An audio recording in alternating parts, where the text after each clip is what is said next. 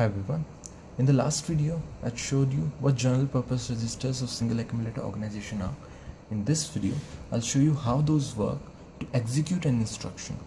And the instruction that we are going to execute is add 240. A very basic instruction.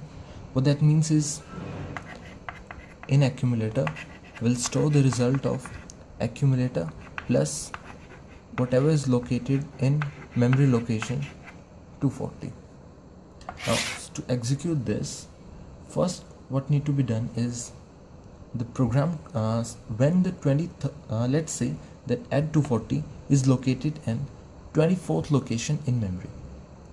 So when 23rd location is being executed after it has executed then program counter would be pointing to add 240 in 24th location in main memory now the program counter will send that location to address register. Since address register handle all the addresses, address register will place that address uh, on program counter will send that to address register. Address register will place that address on address bus. Address bus will go to main memory and it will see on 24th location let's say add 240 it is placed since it is an instruction it will be placed on first on data bus from there it will be placed on instruction register. Since an instruction it will come to instruction register. Now the instruction register see that it is it the instruction has an address this address will be placed back on address bus. Similarly address bus will go back to main memory and in 240th location it will see whatever the address is. From in 240th location uh, it will have some data which will be added with accumulator. So that data will placed on data bus from there on to data register. And from data register will add with accumulator and the result will be stored in accumulator. Now I'll show you how this works with all the registers in a organized manner. Now let's see what I explained through a diagram.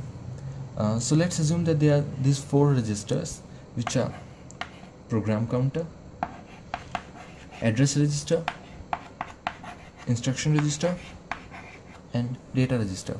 Along that we also have main memory. Since the instruction that we needed to execute was add 240 so as we said before first the program counter will send send the address of the instruction to address register. So let's say this add 240 is located in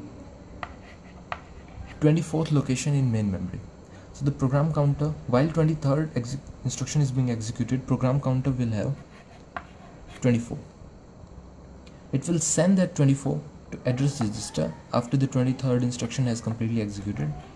Address register will now have 24 address register will place that on address bus that will go to main memory and see what's on the location 24 so uh, address bus goes to main memory 24th location. It sees at at 240 this is an instruction.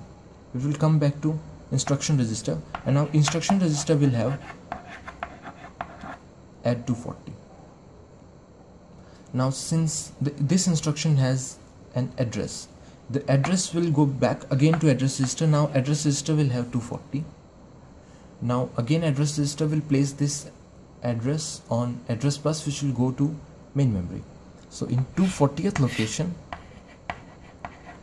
let there be a data any data let's say 100 now this data will come to since it is data and not instruction instruction will come to instruction register data will come to data register.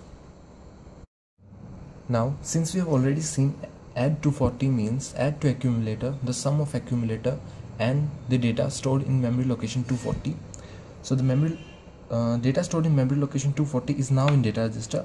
We'll simply add to accumulator the contents of data register and store the result in accumulator. Thank you